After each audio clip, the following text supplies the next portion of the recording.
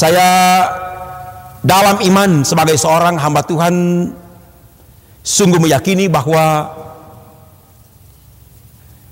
di perayaan Paskah ini kita semua diperlengkapi. Kita semua dibentuk. Kita semua dimampukan untuk menjalani hari-hari hidup ini yang memiliki banyak tantangan, banyak masalah, banyak godaan dan cobaan.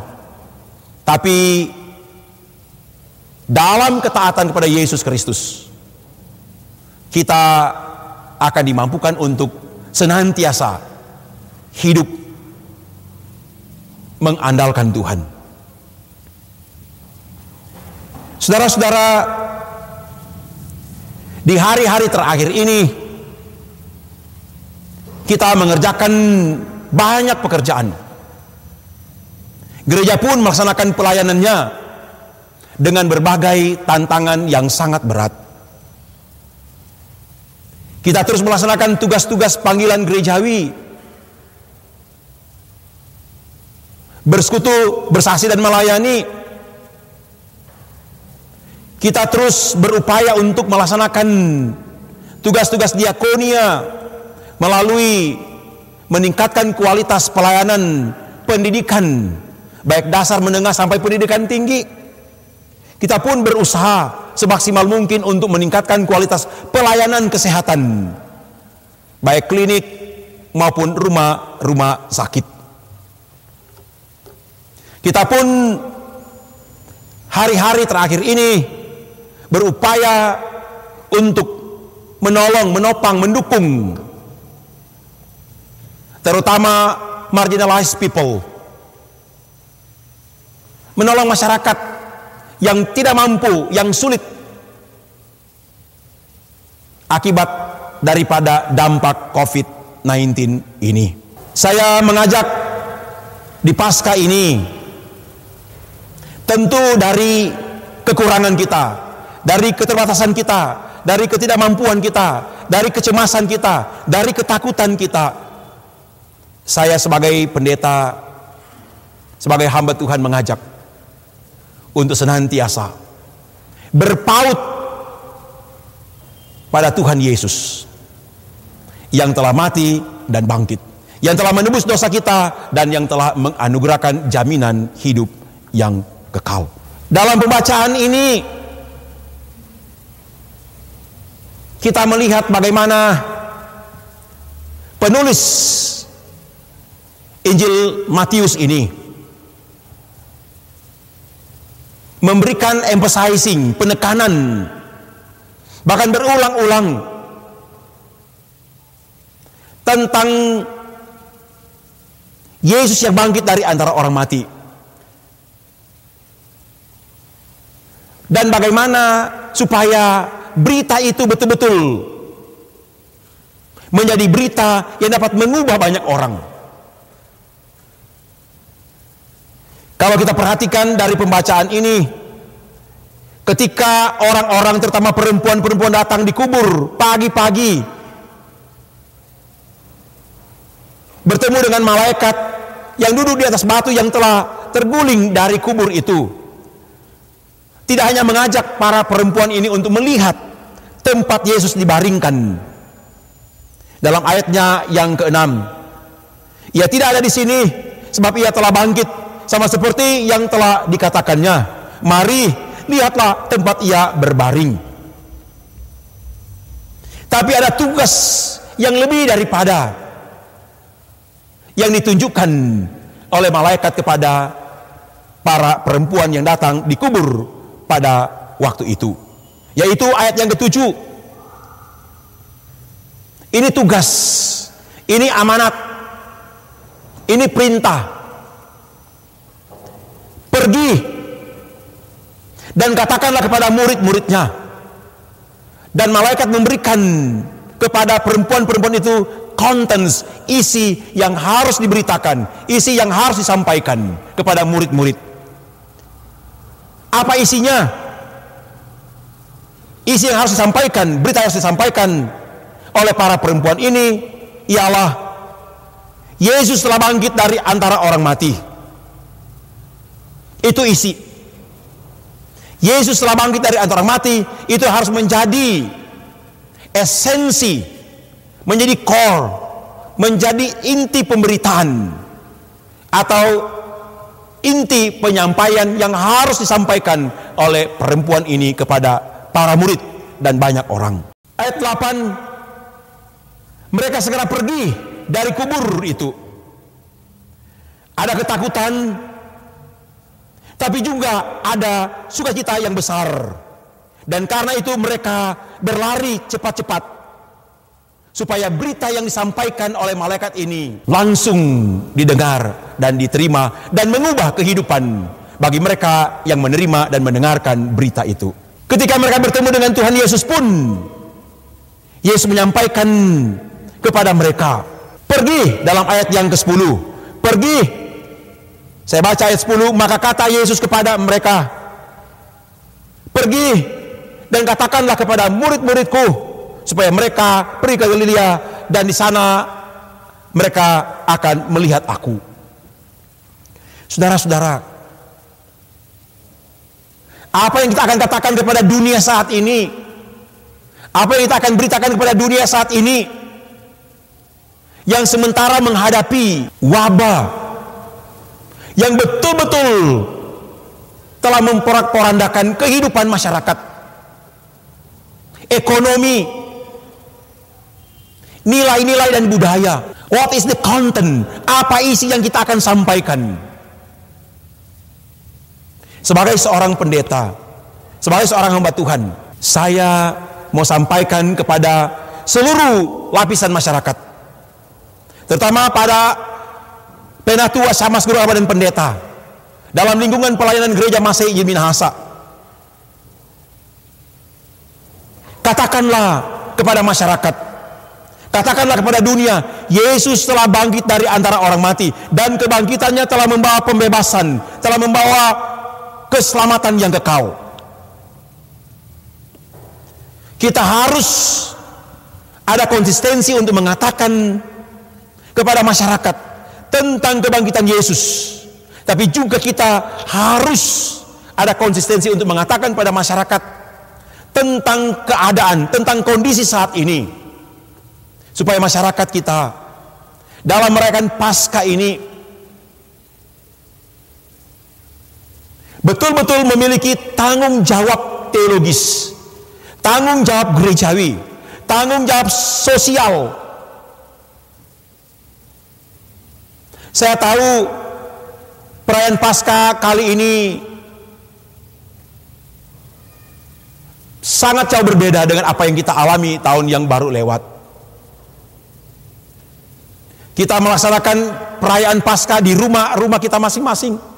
Walaupun demikian saya beberapa hari terakhir ini mengunjungi beberapa tempat di tanah Minahasa ini. Saya melihat bagaimana semangat warga gereja, masyarakat. Saya melihat bagaimana semangat kepercayaan yang luar biasa dari para pelayan khusus sama penatua guru agama dan pendeta.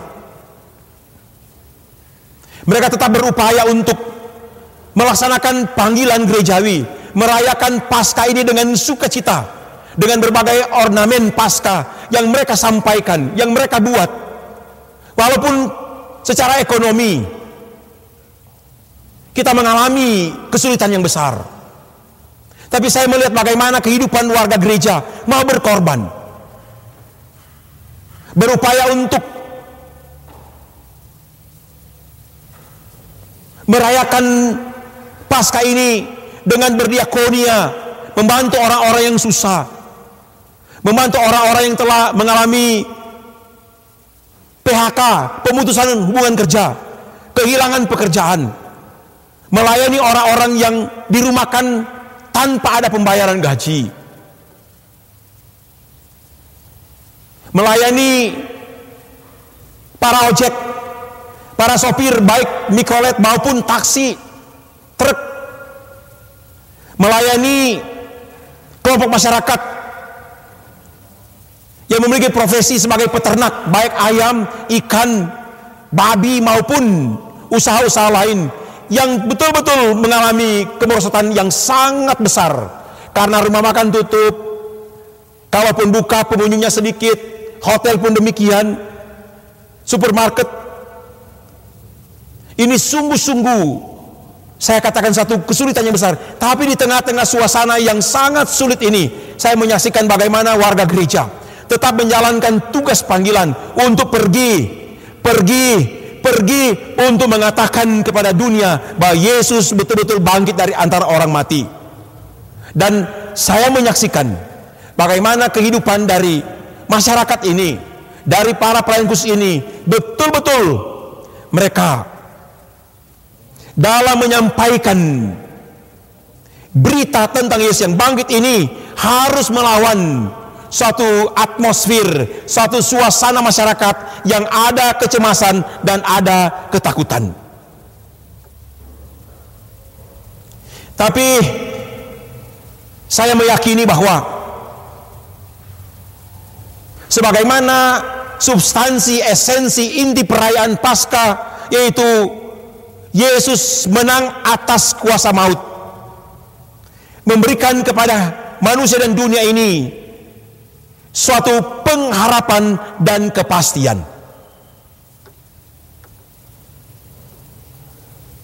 Walaupun tantangannya tetap kita lihat dalam kehidupan masyarakat. Ada sebagian masyarakat di dalamnya warga gereja yang belum memberikan perhatian kepada masalah ini. Belum sungguh-sungguh menjaga jarak dengan menggunakan berbagai argumentasi, berbagai alasan, terutama menggunakan theological reasons, alasan-alasan teologi bahwa sebagai orang percaya apa pun yang akan dialami, apa pun yang akan dihadapi, termasuk dalamnya jaga jarak. Alasan teologi dipakai untuk mengabaikan terapi atau penyembuhan COVID ini. Salah satu yang paling luar biasa adalah physical distancing, menjaga jarak secara disiplin. Banyak kali kita menggunakan untuk menolak jaga jarak ini, untuk mengabaikan jaga jarak ini. Menggunakan alasan-alasan doktrinal, dogma, ajaran kita seperti ini. Harus ke gereja.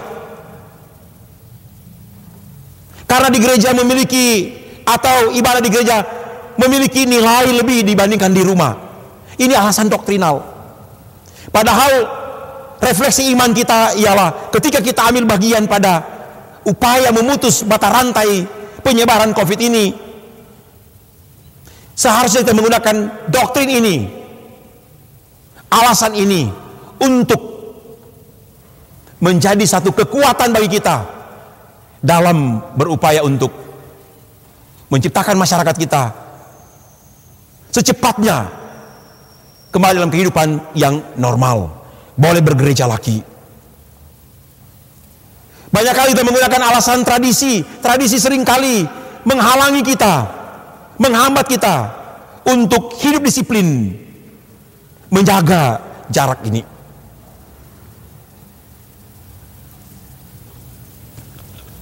Tinggal di rumah. Sekali lagi tinggal di rumah, merayakan Paskah di rumah sama sekali tidak akan mengurangi tidak akan memperkecil, mempersempit perayaan kita. Tapi justru saya mau katakan dengan merayakan di rumah kita menikmati satu suasana yang biasa kita dengar home sweet home. Bagaimana menciptakan suasana rumah kehidupan hubungan antara keluarga suami istri ini dengan anak-anak ini betul-betul being united, dipersatukan dalam satu persekutuan yang utuh untuk merayakan Paskah ini, untuk merayakan sesuatu yang utuh dalam rangka kita menghayati pengharapan dan kepastian atas kebangkitan Yesus Kristus dari antara orang mati.